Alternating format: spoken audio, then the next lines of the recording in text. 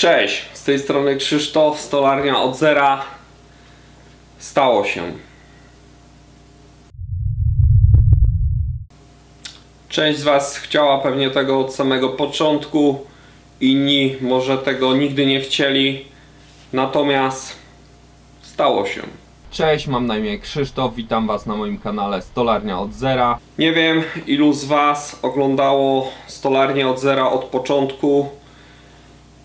Na pewno każdy z Was może zobaczyć pierwsze odcinki Stolarni od Zera, jakie boje musiałem toczyć, w jakich warunkach pracowałem. Naprawdę nie było łatwo, ale nie zamierzałem też robić tego na taką skalę, natomiast wszystko poszło jakby samemu lotem. Wiele udało mi się rozwinąć. Porównajcie sobie warsztat z pierwszych odcinków z ostatnimi. Porównajcie sobie mój park maszynowy, ponieważ chyba tak mogę nazwać zestaw maszyn, elektronarzędzi, którymi pracowałem, narzędzi ręcznych. Naprawdę wielka przepaść, wielka przepaść w stosunku do poziomu mojej wiedzy, ponieważ zaczynałem praktycznie od zera. Z tym co teraz wiem, chociaż wiem, że praktycznie nic nie wiem, ale działo się. Działo się, tu są tego przykłady. Mogliście oglądać wiele realizacji. Wiele z realizacji dotyczyło budowy maszyn. Yy, Sam nie wiem, tak to wyszło. Nie o tym miał być kanał. Kanał miał po prostu pokazywać moje realizacje.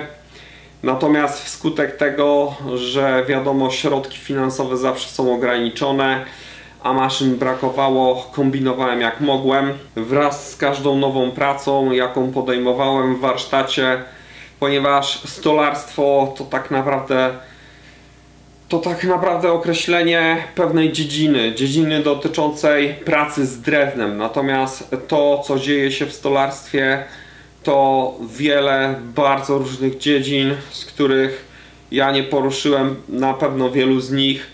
Natomiast poruszyłem część i do każdej z nich potrzebne są inne narzędzia. Oczywiście, że niektóre się powielają, ale no, trzeba te maszyny skądś mieć, dlatego właśnie były te odcinki o budowaniu, ale no, były też odcinki o realizacjach takich użytkowych, co mogliście oglądać. Hitem dla mnie jest ta szafka zrobiona we wspaniałym towarzystwie Asi i Przemka. Jest ona przykładem tego, że jeżeli ktoś nie wie, że nie można, to, to po prostu zrobi. Ja nie wiedziałem na jakie problemy można napotkać przy budowie takiej szafki. Właśnie dlatego podjąłem się takiego wyzwania. Skończyłem do tego, y, poznałem Asię i Przemka przy realizacji naprawdę super. Ale cóż. Nie ma jak to napić się herbaty z wiórkami. Czas biegnie nieubłaganie. Trzeba to sobie powiedzieć wprost. Praktycznie 4 miesiące bez nowych odcinków stolarni od zera. Po 18 miesiącach ciężkiej walki, huśtawek nastrojów udało się.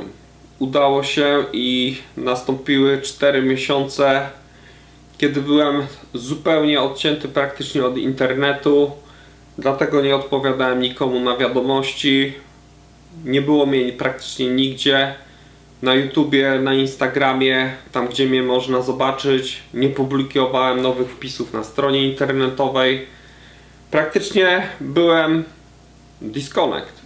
Te 4 miesiące miały być dwoma tygodniami, ale nigdy nie wiemy co i kiedy nastąpi. I tak to właśnie było w moim przypadku, tak to się rozciągnęło. Teraz już wiem. Teraz już wiem, że zobaczycie tylko dwa, a może jeden odcinek stolarni od zera w wydaniu jakim znacie jeden odcinek, który mam nagrany właśnie praktycznie od tych czterech miesięcy. Nigdy nie miałem czasu go zmontować, ale wszystko jest już zakończone. Były oczywiście pewne problemy, ale jest zakończony. Tak więc pozostał mi już tylko montaż. A co dalej ze stolarnią od zera? Sam nie wiem. Wiem natomiast to, że po 18 miesiącach, kolejnych 4 miesiącach, czyli praktycznie po dwóch latach, to prawie tyle, ile ma stolarnia od zera, udało się znaleźć nową lokalizację na stolarnię od zera. Nową lokalizację, która będzie lokalizacją praktycznie pod ręką. Ci, co oglądali dotychczas stolarnię od zera, wiedzą, że musiałem jechać 200 km, nagrać odcinek, po czym wracałem, montowałem i go Wam wrzucałem. I tak praktycznie było co dwa tygodnie, co weekend jechałem. 6 rano, rozpoczęcie nagrań, godzina 12.01 w nocy kończyłem z różnym efektem, ale działo się. Działo się, efekty są widoczne. No, można powiedzieć, świetlana przyszłość. Nie wiem, yy, zobaczymy jak to będzie. Natomiast to, co wiem na pewno, mam naprawdę świetną lokalizację. Mam lokal o znacznie lepszych parametrach niż miałem dotychczas, o większej powierzchni. No i to, że będę mógł dla Was nagrywać w każdej chwili, kiedy tylko będę miał na to ochotę.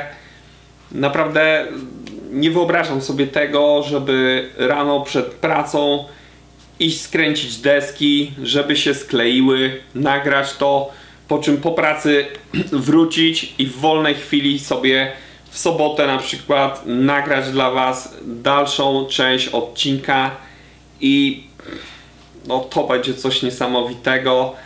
Tak, albo tak prozaiczna sytuacja jak ta, która właśnie miała miejsce. Padła bateria w kamerze, o niczym nie wiedziałem. Standardowo już nic bym nie mógł zrobić, natomiast teraz będę mógł Wam zawsze dograć. Zawsze będę mógł Wam pokazać jak to jest, jak to jest zrobione. Dodatkowa możliwość będzie bezpośrednie łącze z internetem, łącze światłowodowe, tak więc spokojnie będziemy mogli nagrać czata, jeżeli będziecie chcieli. Będziemy mogli nagrać jakiś odcinek na live, gdy ja będę coś wykonywał. Także naprawdę wiele możliwości. To wszystko już wkrótce, ponieważ już zbieram się do nagrań nowych odcinków. Tymczasem nie chcę Wam zabierać tego, co najcenniejsze. Tak więc dziękuję Wam bardzo za obejrzenie tego odcinka. Jeżeli ktoś chce oglądać realizację, zapraszam do moich starszych odcinków. Niebawem pojawi się jeszcze jeden odcinek nagrany w starej lokalizacji. Tak, stara lokalizacja stolarni od zera. To było coś. Zapraszam Was do obejrzenia pierwszych odcinków stolarni od zera. Zobaczycie, łatwo nie było, ale zawsze trzeba iść do przodu. Warto przeć, warto próbować i się nie poddawać. Dzięki bardzo. Cześć.